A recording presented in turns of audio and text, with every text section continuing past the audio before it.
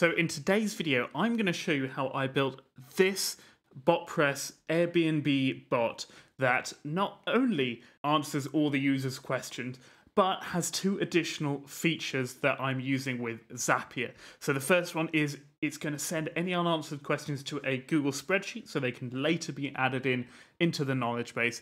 And also, I'm doing some emergency analysis to understand if there is an emergency at the property and whether the actual owner should be notified via SMS or email. So in today's video, and I'm also going to give away this template to you guys for free.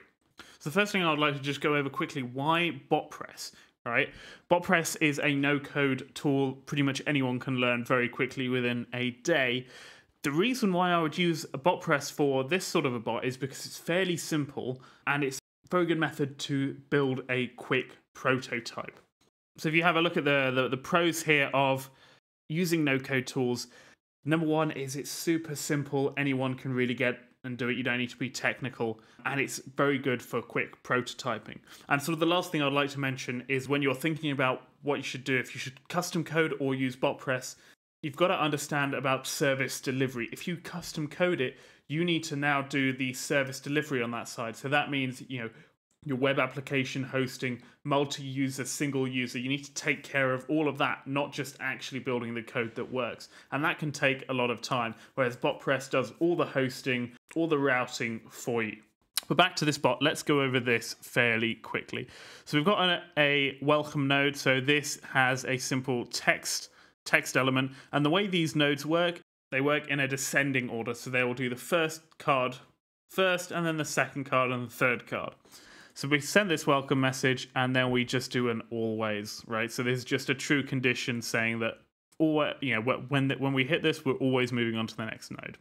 Now we're doing a check knowledge, so we're doing a user input. So I always like to do user inputs rather than just letting them input. I like to capture exactly what the, the input is. That way we can do AI tasks like I'll show you here in a second. What you need to make sure here is they will start on single choice. You need to come down here and you need to hit raw input. Otherwise, with inputs, what they do if they don't get the required input, so say you can set this to a phone number, if you a user writes a question, it will then ask them the input again. It will keep asking them again and again and again. You can set also advanced configurations to show how many times you want this to be asked.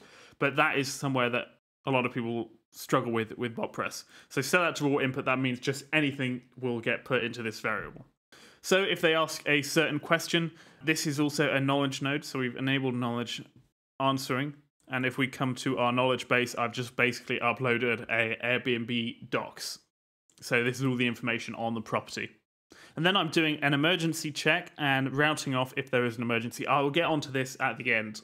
So say if there is not an emergency, basically we have these two these two movement nodes. So you're always should always be at the end because if I move this always up here, it doesn't matter as you can see these turn yellow because they're never going to hit, right? So you always should be the last the last transition. So we got no answer from knowledge base. So if the knowledge agent hasn't responded, that means that it hasn't found a question, right? We're going to say, I'm sorry, I don't have an answer to that and I've just said this question will be logged in a spreadsheet just to demo the purposes.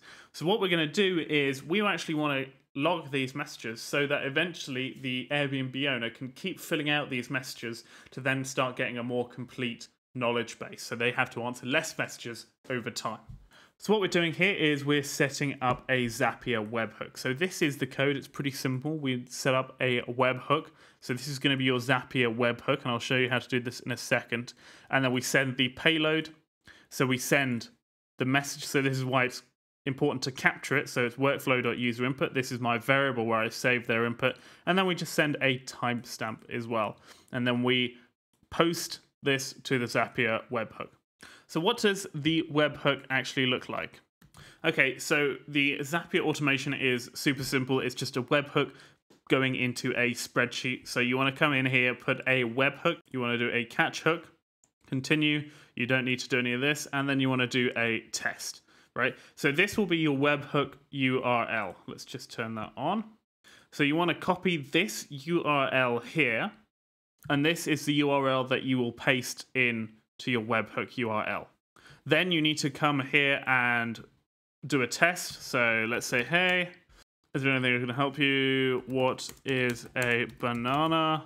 It's not going to know that. So here we go. I'm sorry, I don't have an answer to this question. This question has been logged in the spreadsheet. So we come here, we hit find new records. There we go. What is a banana? So this is hit the webhook. We're going to continue with this selected record. So now we're going to do the Google Sheets. So we're going to say we're going to create a spreadsheet row. You put in your account, the drive, what the spreadsheet is, the spreadsheet worksheet, and then my spreadsheet. My spreadsheet here has two headings, a message and a timestamp. So you can fill in exactly the fields. So this is why we're sending the message and the timestamp. You hit continue, and then we can retest this action. So now if we come here, there we go, it's pasted into this spreadsheet. What is banana? And it gives us our timestamp. So this is a really simple way of just of logging all of the user messages, and you can do this now with anything. If you're collecting phone numbers, if you're collecting emails, you can use this Zapier webhook to send to a Google Sheets. And then it returns always, and it comes down to this second node. The second node is basically a clone of this first node, but basically it's just a sort of a, a, secondary question. So let me know if there's anything else you can help with instead of just keeping asking what I can help with. Just a nice sort of follow up question. So it's basically the same. It's a knowledge node. It does an emergency check if the user says no. So if their intent is no, and let's just go over intents really quickly. So intents are here, and you can do intents for anything, you know, intents for buy, whatever. Basically, what are intents? Intents are, as it says, what does the user intend to do? And these are a list, but it's not the finite list of what a reply. So if they reply this, this is going to come into this intent. So if they reply, I don't want to, absolutely not, nah, no, no. But it's not going to be limited to these eight. Basically, what you're doing here is you're telling the AI what the intent should look like, right? So if they misspell nope or misspell not really with like one L, it still understands, oh, okay, they're probably wanting this intent. So the more you fill out here, the more specific your intent is, the more the AI is going to know. So if we do an intent, so nah, and then conversation ended. Okay, and if it's a no answer, so if the knowledge base hasn't responded, we're going to go back and we're going to send that message again to the Zapier worksheet. And on always, this is just a fallback. We're going to end the conversation. So let's talk about this emergency thing. So what we're doing here is we're doing an AI task, and this is basically where you have task instructions and you're sending it to GPT 3.5 or 4 with a certain input, and you're going to get a response back. So here, you are going to look at this message and determine if there is an emergency or something serious that the owner of the property should be alerted to. So for the examples, so I've just put for examples when there's you know a fire or I have broken X object and then we pass in the user input. And then we have like a task example as well. Really, you can put this sort of either way. It all just gets put into one prompt anyway. And then in the advanced settings, you can this is where you can change your model. So we're basically telling it to respond with yes if there is an emergency or no, there's not. And that is going to go into this workflow.emergency boolean, right? So it's going to the AI is also going to map this yes and no to the yes and no's of the boolean. So we're going to check if there is an emergency. So if emergency is set to true, we're going to come up to this emergency emergency node. So again, we do a Zapier webhook, but here we're going to send the entire conversation. So we're going to send, let's get that. We're going to send the entire conversation. So you get that by event.state.session.history. And then you want to give the summary as well. So you can use the summary agent to give just a summary of what's going on. And then we send it the latest message. So if we come into Zapier, it's exactly the same. So you want to get your webhook and put that into the code. Let's let's generate an emergency. Hi, there is a flood in the house. So hopefully it will pick it up as an emergency. This is emergency. There we go. So it's also given like the, the knowledge what what you should do in the flood. And then it's saying, I've set this up as well, so to please call the emergency number, and I've determined that the owner of the property should know. So this, if we find new records, we should get a new record here. Yep, we got a new record.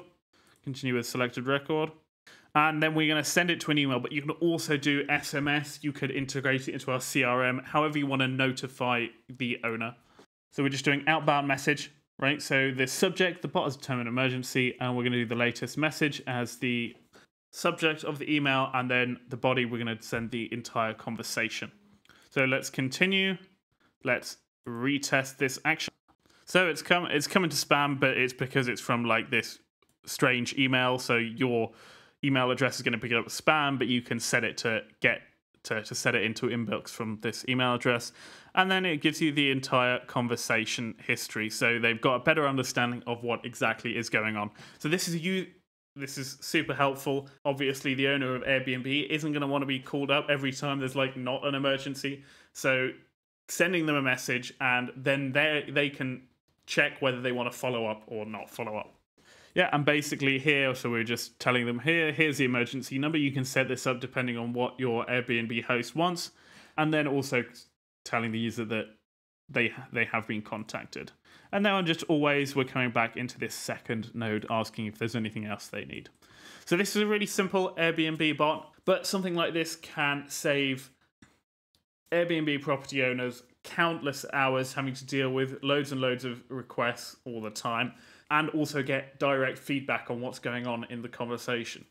And something like this, you can either do it through, you can host it through a website, or you can put it into a WhatsApp or Telegram. So, and then when someone checks into your to the client's property, you can just give them a WhatsApp number to connect to, and then they will initiate a conversation with the bot. So I hope you enjoyed this. I will leave a link to the bot template below. Also, if you would like to work with me, I've got my email, or if you want to book an hour of my time, I've got a place that you can book that too.